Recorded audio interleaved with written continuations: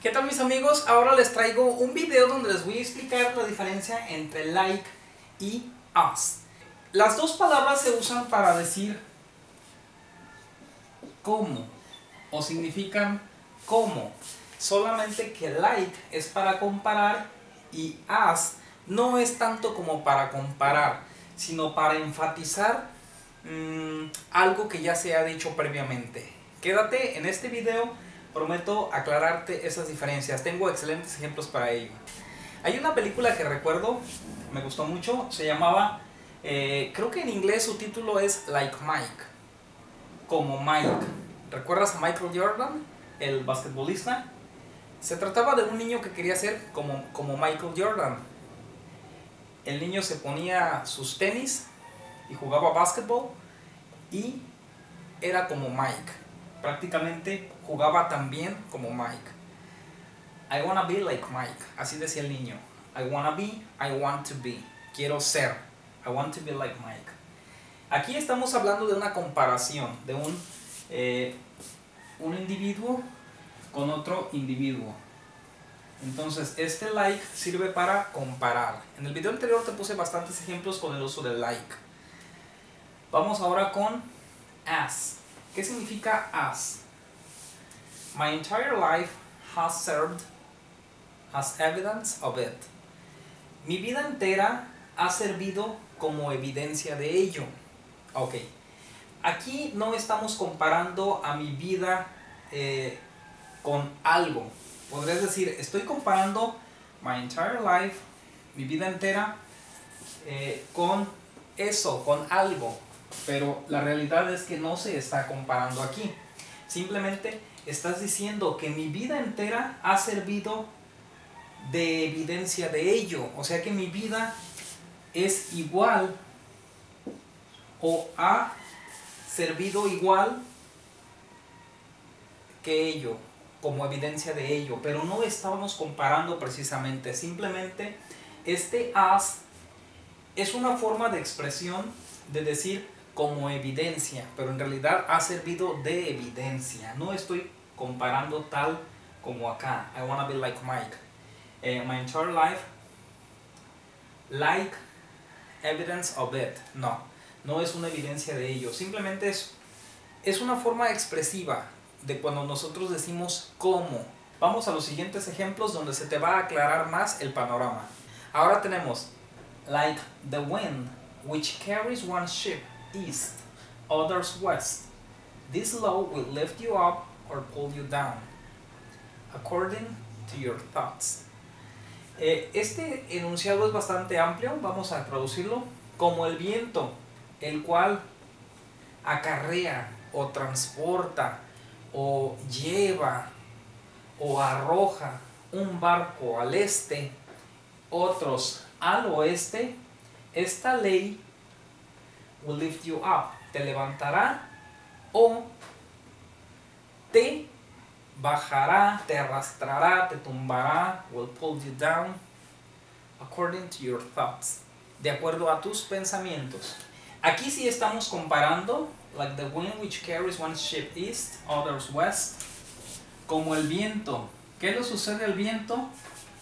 El viento arrastra a los barcos, arrastra un barco al este y otros al oeste. Así esta ley te levantará o te, eh, te tumbará prácticamente, will pull you down, according to your thoughts, de acuerdo a tus pensamientos. O sea, aquí hay una metáfora, hay una comparación. Así como el viento arrastra a los barcos, a unos al este, a otros al oeste, así esta ley ya sea que te levante o te tumbe. ¿Ok? Es una comparación, así como acá, like Mike. Ahora vamos con este enunciado. This statement is as true as a statement that two and two are four. Esta sentencia, statement es como un enunciado, como una declaración, como algo que se dice. Esta declaración es tan verdadera, is as true. Eh, aquí tenemos una comparación. El primer as funciona como tan y el siguiente as funciona o se traduce como como. Tan verdadera como.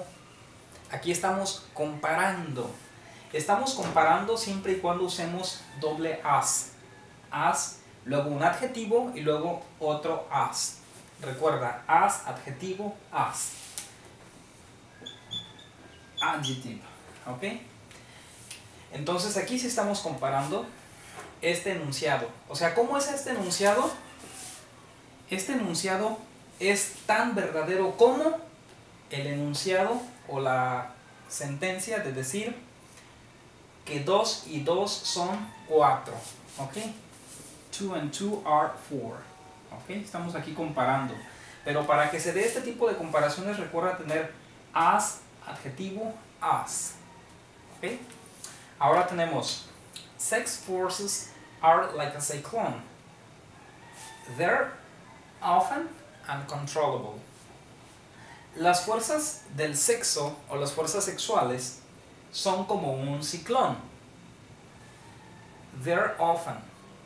Ellas son a menudo incontrolables. Aquí también estamos comparando. Estamos comparando eh, sex forces, las fuerzas del sexo, las estamos comparando como un ciclón. Are like a cyclone. ¿Ok? ¿Cómo son? Uncontrollable. Ahora tenemos the years between 40 and 50 are as a rule the most fruitful. Aquí, mmm, aquí no estamos comparando nada, simplemente estamos haciendo una extensión a algo que, se, que ya se ha dicho previamente. The years between 40 and 50. Esto es lo que ya se ha dicho previamente. ¿Sí? Los años entre los 40 y los 50. ¿Y qué estamos diciendo? Que son como una regla o son como regla. Son como regla es, les decía, este, a, este as no es tanto como para comparar, sino para expresar una manera discursiva de extender algo que ya se ha dicho o enfatizar algo que ya se ha dicho. Are as a rule. O sea, estos años son una regla o son de regla. Podemos decir son como una regla o son de a manera de regla, podría decirlo así, a manera de regla, como una regla, pero no comparando. Son a manera de regla the most fruitful, los más fructíferos. O sea que aquí podremos decir son por regla, ¿sí? Por querer cambiarle un poquito la comparación, o sea, evitar la palabra como. Son como una regla, decir, son por regla the most fruitful, los más fructíferos. Ahora, ya para cerrar, tenemos dos ejemplos que, si te fijas, son exactamente iguales, a excepción de aquí tenemos like y acá tenemos as. Pero si te fijas es lo mismo, simplemente que esto cambia todo el significado. Fíjate bien. Like your teacher, I want you to learn English. Como tu maestro, yo quiero que tú aprendas inglés. Ahora tenemos, as your teacher, I want you to learn English. Como tu maestro, yo quiero que tú aprendas inglés. ¿Cuál es la diferencia entre estos? Es muy sencilla. Que este like es para comparar, mientras que este as es para, mm, para enfatizar algo. ¿Qué es algo que ya voy a enfatizar yo? Que yo soy tu maestro. Entonces, el maestro, ¿qué es lo que quiere? Que aprendas inglés. ¿Ok? Aquí estoy enfatizando y acá estoy comparando. ¿Ok? Aquí, aquí sí estoy comparando prácticamente, pero estoy diciendo que yo no soy tu maestro. ¿Sí? O sea, tu maestro es otro. Como tu maestro, yo quiero que tú, que tú aprendas inglés. ¿Qué quiere decir esto? Que tal vez yo no soy tu maestro, pero estoy frente a ti. Y al igual que tu maestro, yo también quiero que tú aprendas inglés. Fíjate bien. Como tu maestro, o sea que él también quiere que aprenda, que aprendas, yo también quiero que aprendas. Y acá, as your teacher, como tu maestro, pero no como tu maestro aquel, no, sino como tu maestro que soy yo. ¿Sí? Es como si dijese aquí, por ser tu maestro, quiero que aprendas inglés. Aquí no estoy comparando, estoy enfatizando. ¿Ok? Amigos, esto ha sido todo por ahora. Si te gustó, por favor, dale un like, comparte. Eh, escogí unos enunciados bastante, eh, bastante así como que de contraste para que puedas entender la diferencia. Que uno es para comparar y el otro es para reafirmar algo que ya se sabe, algo que ya está dado. ¿Ok? Pero ambos funcionan o se traducen como. Bueno, nos vemos hasta la próxima. Adiós.